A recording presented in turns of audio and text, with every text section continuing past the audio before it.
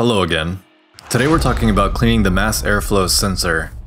The mass airflow sensor relies on a heated wire to detect airflow.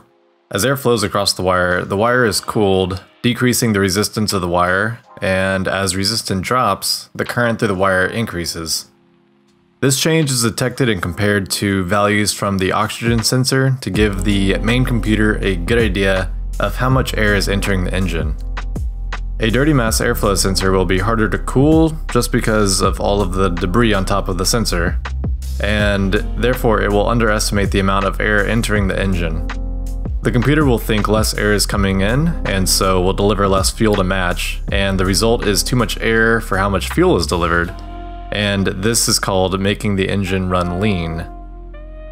You may have your check engine light come on, and when you scan for codes, you'll see a P0171 or P0174 code, which means the system is too lean. Instead of driving to the dealer and possibly losing access to your car for a few days while they wait for parts, a cheap and easy place to start is simply cleaning your mass airflow sensor. As usual, parts and tools will be listed in the description. Now, let's get started. The first step will be to pop your hood the tool you will need to remove the mass airflow sensor is a T20 Torx bit and a driver.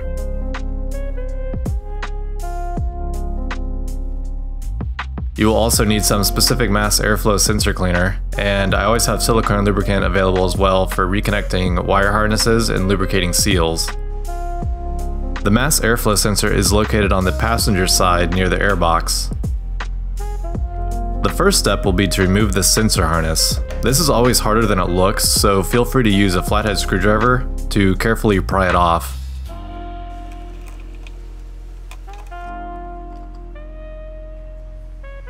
Once free, you can then unscrew the two T20 screws holding the sensor to the airbox.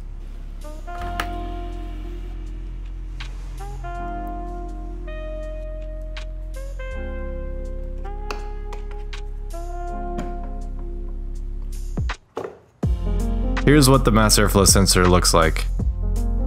You can see the intake air temperature sensor here. Since cold air is denser than hot air, it's important to know the temperature of the incoming air so appropriate corrections can be made in calculating the air volume. A portion of the intake air flows into the hot wire area.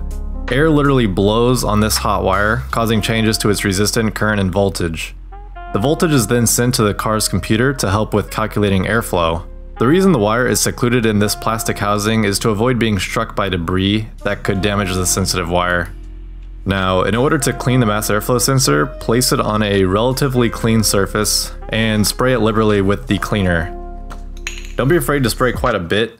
Uh, mass airflow sensor cleaner is mostly 2-methylpentane, which is a highly volatile hydrocarbon that does not conduct electricity but cleans oily residues and has the bonus of being quick drying. Once done, leave the sensor so residual cleaner can drain out and let it fully dry.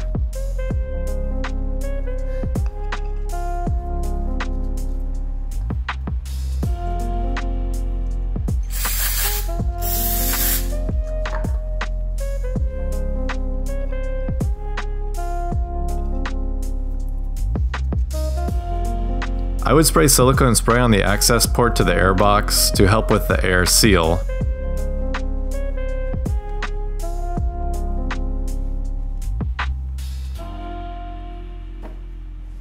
Regarding the mass airflow sensor, I would also clean off the sensor connects with silicone spray. This way it'll be easier to remove next time.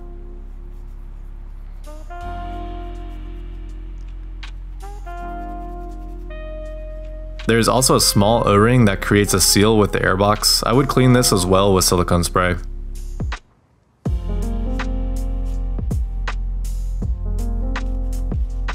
Once done, return the mass airflow sensor to the airbox.